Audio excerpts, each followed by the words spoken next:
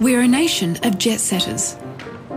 Close to 60 million travellers boarded a domestic flight last year, and 30 million flew abroad. But our love of flying means that planes and wildlife are competing for space in the sky, and that is cause for concern.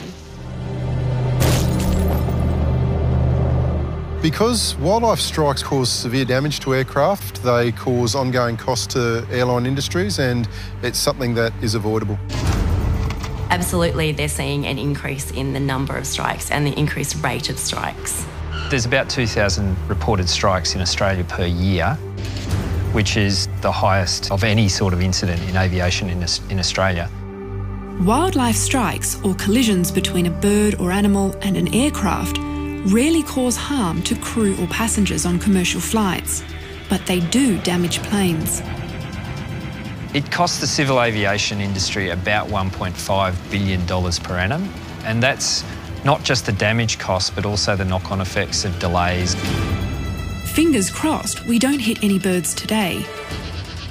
But with a national average of four strikes daily and over 1,700 collisions recorded this year already, it is relatively common and the risk is real. Strikes happen most often during takeoff and landing. That's why management of wildlife in and around airports is vital. It's really important to know what bird species it is because different birds present different hazards to aircraft. Then we can focus on species that are causing problems and have management strategies in place to help reduce that sort of issue. Mitigating the risk means knowing which species is being hit, but finding out is not always straightforward. So, Martin, this looks like a bird strike. That's right. You can see around the cowling here all of the debris that's been left by when the bird's impacted with the aircraft. Obviously, we don't have a full carcass here to work with, but we've got enough remains that have smeared onto the cowling here that we can take a good sample. It's kind of like the whodunit of a crime scene. All we're left with is blood and debris, so we can send that to a DNA laboratory and get the information we need. This detective work is the domain of Dr. Rebecca Johnson, who heads up the Centre for Wildlife Genomics at the Australian Museum. We get quite a few samples through every week, which is actually only a fraction of the strikes that happen every day in Australia. We're looking at genes that are informative at a species level they inform how they're related to other animals. So that's actually part of our core science that we do here at the museum. And identifying unknown animals fits in really well with that.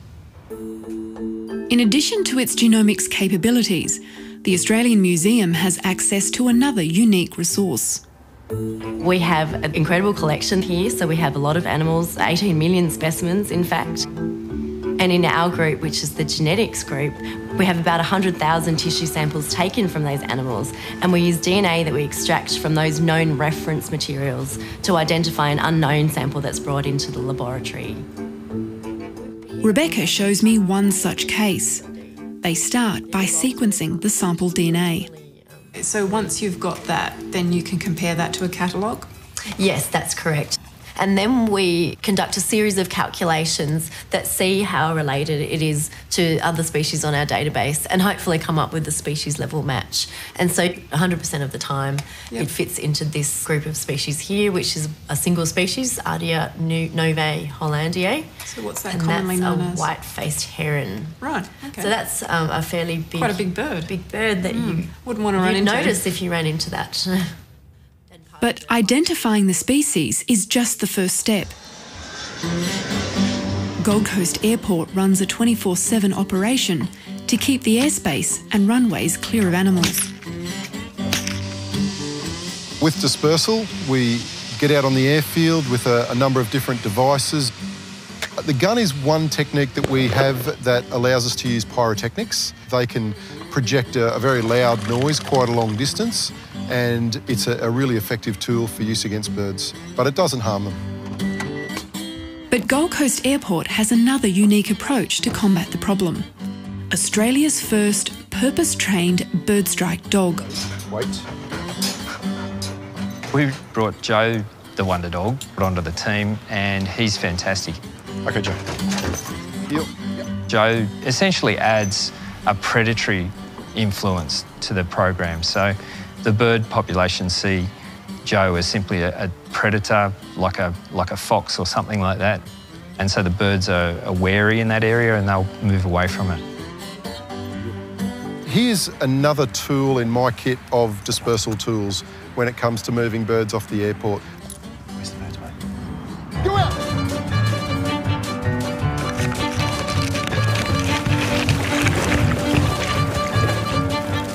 Good boy, Joe. Good boy.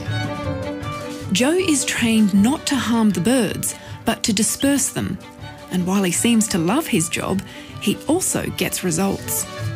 Following his introduction at the airport here, we had a look at some of the statistics. The data is pretty clear. You, know, you can see that the types of birds that he would be influencing, their numbers of, of strikes have, have decreased as well. So, why do you use so many different techniques? It's to stop habituation. We've got lots of different sorts of birds, and you don't want those birds getting used to any one type of tool, so you need to constantly mix it up. Yeah. Winter as well is impacting on how much the grass is growing. Yeah, but. Um, In addition to scaring birds away, the grass is left long to reduce certain species. Specialised drains deter ducks and other water birds. But the management strategies aren't limited to the airport grounds.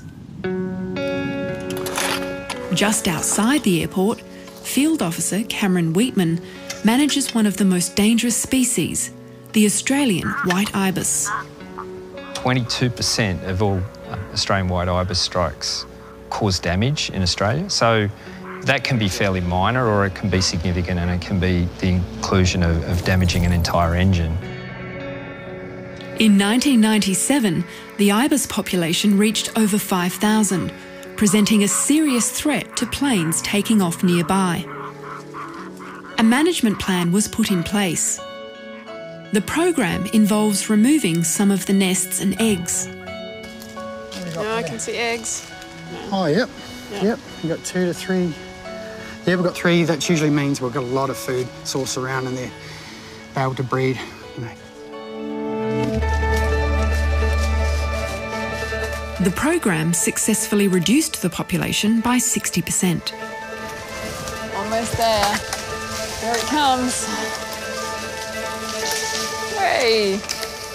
We are part of a growing community of people who work at airports all around the world who are working at mitigating wildlife strikes with aircraft. I think we've been getting better at it and understanding the issue more, and we're moving now into new technologies that are taking the uh, fight against birds, I guess, out of the airports and into the skies where we can help to actually have aircraft and birds avoiding each other. So hopefully that's more of the future.